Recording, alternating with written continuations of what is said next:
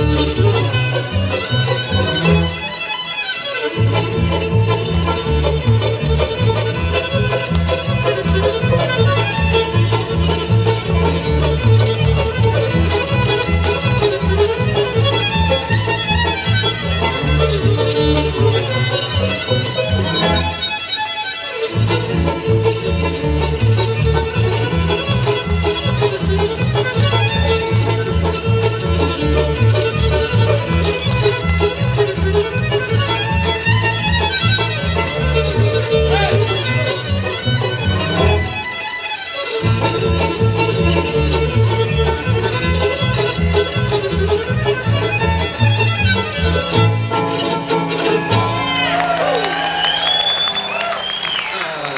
Johnny Warren with the Durham's Bull.